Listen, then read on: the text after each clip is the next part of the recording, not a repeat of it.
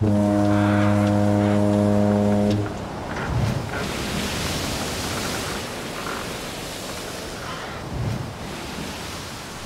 I want to share with you a little video that's on my mind for some time. So five years ago I was traveling together with my cousin for a three-week adventure to Vietnam in Southeast Asia. And one day we were walking the streets and suddenly in a quiet remote corner we came across a quaint restaurant. And this is what we saw.